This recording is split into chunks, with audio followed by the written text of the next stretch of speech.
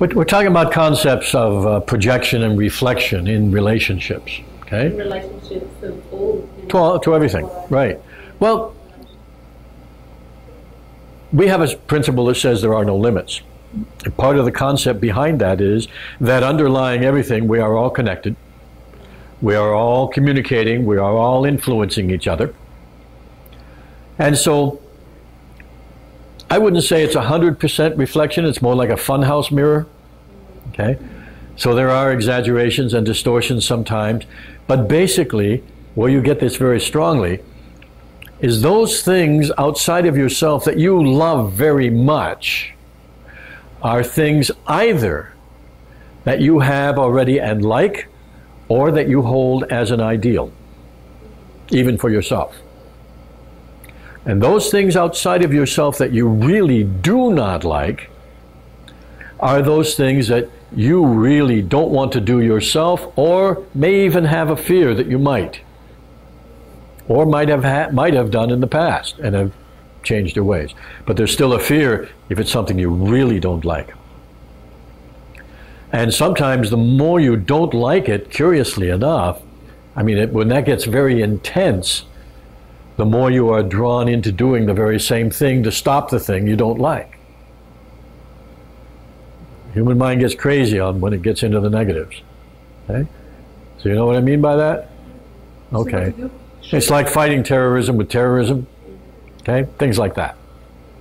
Okay? How do you come out of it? How do you come out? You gotta you have to stop or someone's got to stop you so that you have a chance to change your mind. Take a look at the effects you're producing and decide that's not a good thing.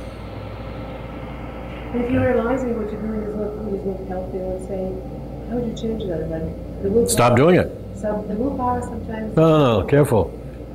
Excuse me. Willpower is simply your power of choice. And everybody has the power of choice. Okay?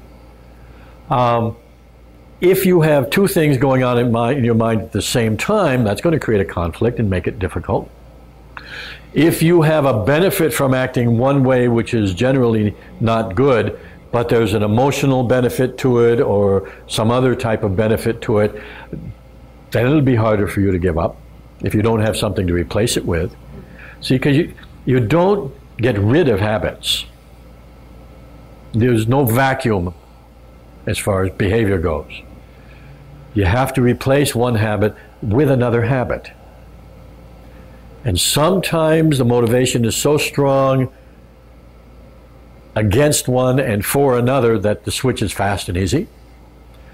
And sometimes it's a steady, plodding change because you've decided something is good and is worth the trouble.